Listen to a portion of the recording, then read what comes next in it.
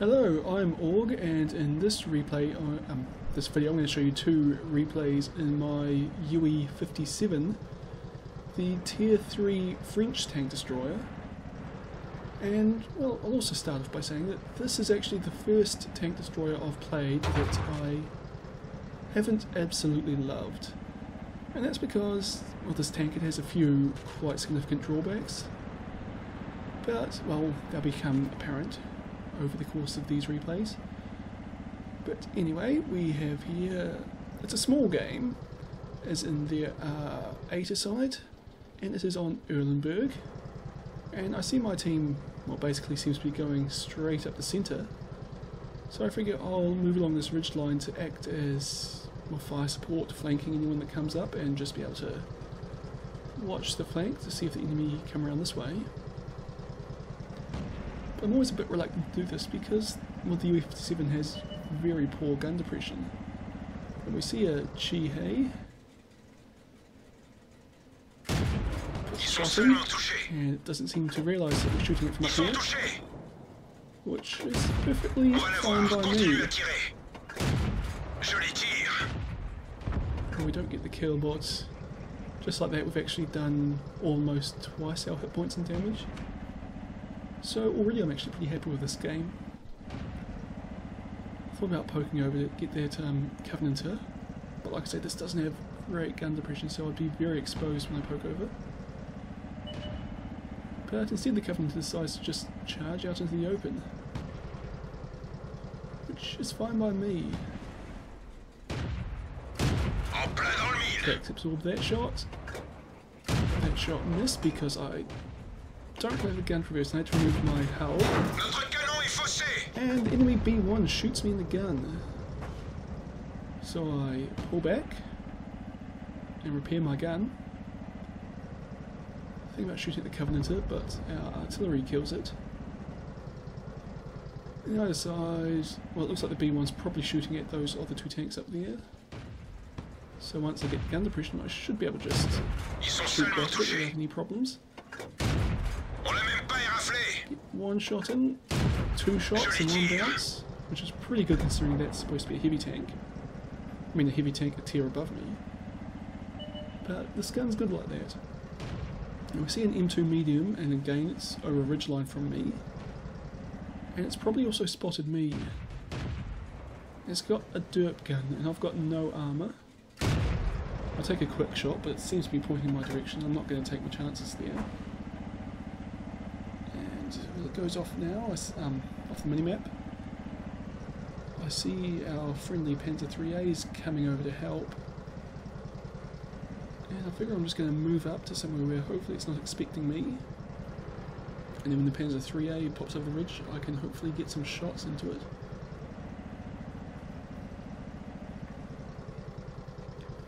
But the Panzer 3A is not coming quickly enough, so I poke over myself, pull back, and it didn't seem to spot me, and I definitely didn't spot it. So I figure it's probably running back to its base, and it's about to bump into the DW2, who's kind of heading in this direction by the round from the rear. Well, there he is, you can see him.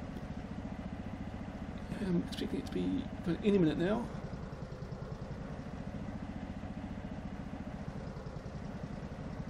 No, I don't know where it could be. And, well, that's when we see a Panzer 3A right back in our base which kind of should have been expecting since we still haven't spotted half the enemy team and half the map's open. So that shot, while I rushed it, it didn't quite go where I'd hoped. The UE-57 is also back there, but I don't have shots on it. And while the M2 medium's also back there, it went the opposite direction to what I thought. Managed to get a long range shot into the Panzer III there, 530 metres. And that one hit the tracks. One, well, I am a bit far ahead and a bit high, I think. That last shot didn't quite kill.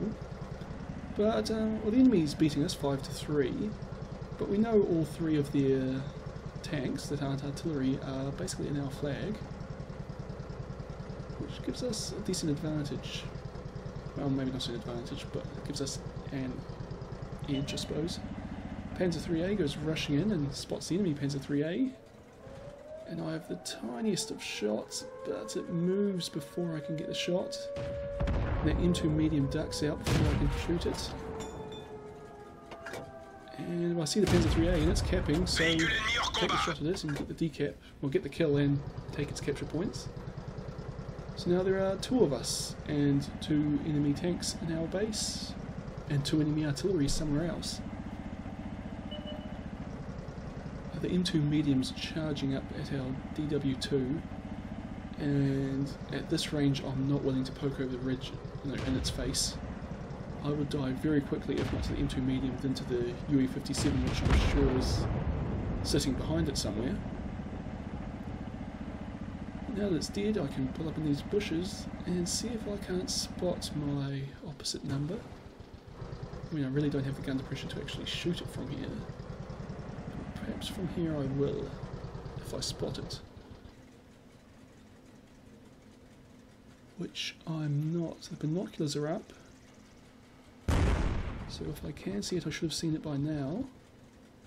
But perhaps when it shoots, I'll be able to spot it. there it is, the DW2 spotted and I don't have shots, the building's in the way. So I'm rushing down to support my DW2 friend, but it looks like it's got this covered.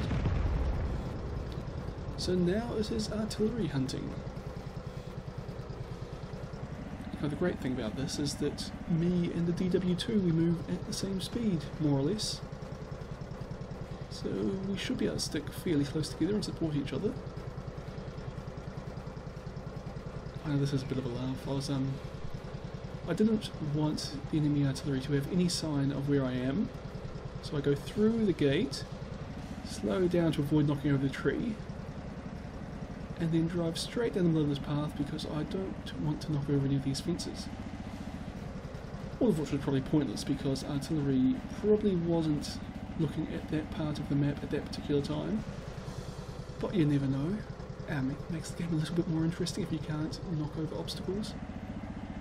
But I'm thinking artillery, there's a good chance it's up in the A0 area. But, well, our friendly M37 reckons it's in the opposite corner, around A2 or B2. But I figure since I'm already mostly here, I might as well swing through the forest in this corner just to see what's happening. I mean, the DW2 seems to screen is heading towards the enemy flag, which means it's perfectly valid. It's just I'd rather be stuck together, and I really don't want to have to drive back if the enemy are in this forest. But of course, the enemy Su-26 isn't. It is sitting right by their flag, and the DW2 has spotted it. And, well, I thought that DW2 would have been able to kill it, but not quite. So now I'm coming over to help, since there's obviously no artillery in this corner.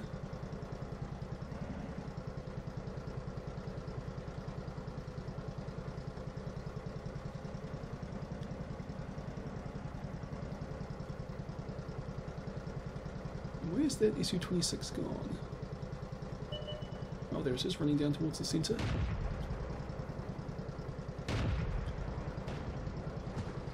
the DW2 gets the kill, although it looked like it took a big hit from the artillery then itself. So just one more to go, and I reckon it's either over in the back corner around, well, B1, B2, A3 kind of thing, or it's relocated around towards the castle at G2. So, well, that's where I'm heading. And again, the DW2 has a different idea, and it's heading straight down the middle of the map. At the time I didn't know why it would go that way, but I reckon it must have thought that the EC-26 was running towards help.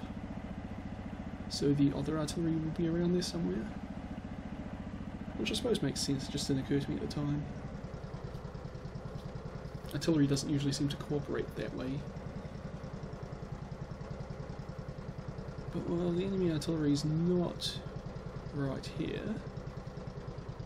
So I think it's probably must be over by that castle. That castle there. But it it might be behind this ridge I might just miss it. So I should, might as well check since I'm here. But no, it's obviously not there. So it must be over by the castle. Holy shit, there's artillery right there. La chenille est touchée. Elle peut casser à tout Oh, well, oh. touchés. get over my shock and start putting shots in, and uh, well, this guy's not going to live long. On les a eus. That had some mean camo on it, that artillery. But you see, that was my ace mastery badge, because I basically shot everything. 800 damage in the end. You know, top of my team, but that's kind of what you get when you shoot everything like I did that game. Anyway, this is another small game. I didn't actually realise that. Apparently I do well in UE57s when you're in small games. So I was originally going to head north on Karelia. Then I see the rest of my team's heading south, and well, I prefer to stick with them than go by myself. Of course, the M3 Lee on our team seems to disagree and is heading north all on its lonesome. Which, um, just spoilers, it's not going to end well for that guy. Going off by yourself isn't actually that great an idea. But yeah, we're heading off in force along the south.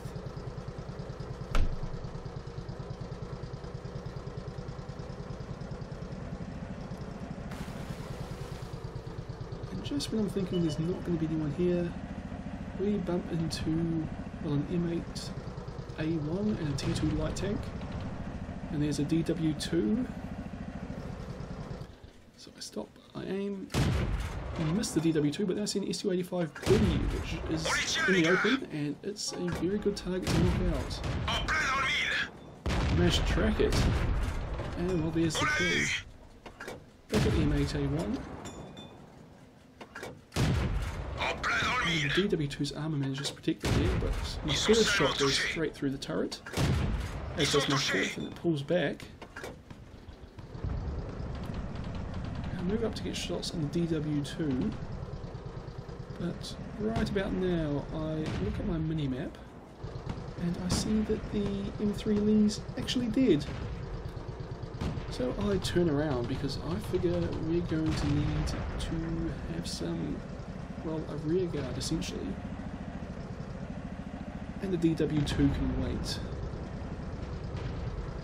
Of course, the M37 seems to be pretty oblivious to what's probably coming its way. Oh, I suppose it really isn't anywhere it could go other than the front lines here. I thought I might get up here and get a sneaky shot at the DW2, but, well, the M3... What's it be called? An M3 Light? I it was the M3 En Anyway, shows up, kills our artillery, I track it, and Ils sont touchés. gets basically a bunch of free shots because it obviously doesn't know where I am. On l'a eu. Okay, there's someone in our base.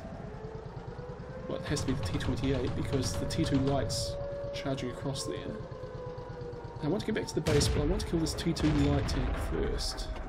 My allies do it for me, and I contributed nothing, so that was actually probably a mistake. I probably should have started going back to kill that T-28 first. Obviously the LTP decided to take a shot at me. So it probably was trying to prevent me, but I'm the only one on my team hitting back here, which is a bit unfortunate since this is quite a slow tank and I've got to go uphill. Now on the plus side, I've got a minute to get there.